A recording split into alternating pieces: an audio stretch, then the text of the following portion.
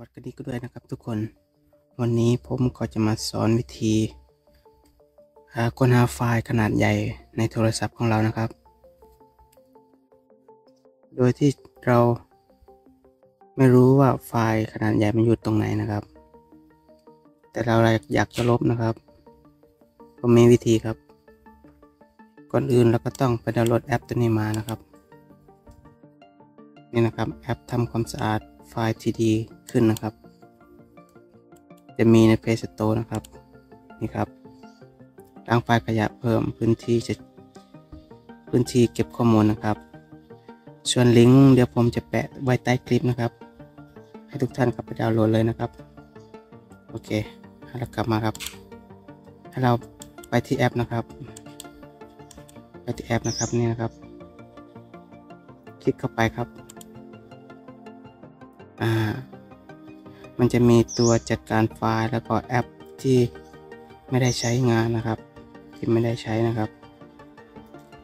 ผมก็มี C5 ถึง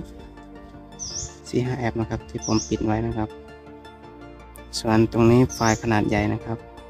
ถ้าเรากดไปที่นี่เลยนะครับ กดไปที่นี่เลยครับอ่ามันก็จะโชว์ไฟล์ที่ใหญ่ที่สุดนะครับ จะเป็นวิดีโอที่เราสกรีนนะครับ recording นะครับก็คือที่เราบันทึกหน้าจอเอาไว้นะครับ ตัวนี้ถึง2กิกเลยนะครับ วิธีเราจะลบนะครับ แล้วก็ดูนะครับว่าไฟล์ตรงนี้มันอยู่ตรงไหนให้ดูที่นี่ครับ ให้เราคลิกตรงนี้นะครับเน้นเข้าไปครับ ดูรายละเอียดนะครับ นี่ครับ กดเข้าไปครับ มันจะเป็นวิดีโอนะครับ แต่วิดีโอนี้ผมได้โพสต์แล้วนะครับ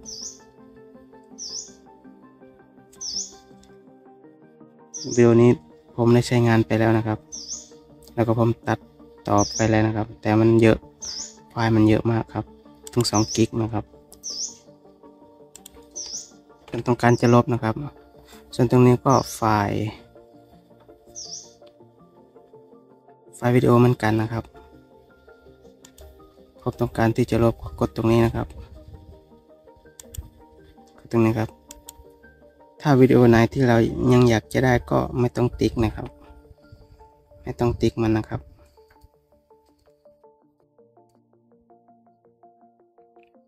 ไฟล์ตรงไหนที่เราอยากจะลบก็เดินหาครับ อย่างตัวนี้ผมก็จะลบนะครับ นี่ก็เหมือนกันครับกือบถึงกิกเลยนะครับ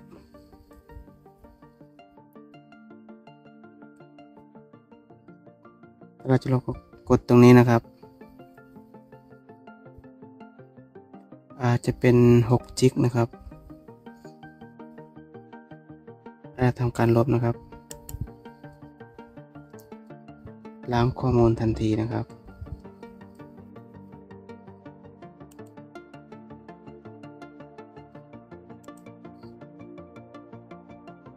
โอเคไม่เห็นแล้วนะครับ ก็ไม่มีอะไรยากนะครับ ส่วนตรงนี้ก็จะเป็นไฟล์ อันนี้จะเป็นแอปนะครับ แอปนะครับ นี่ครับ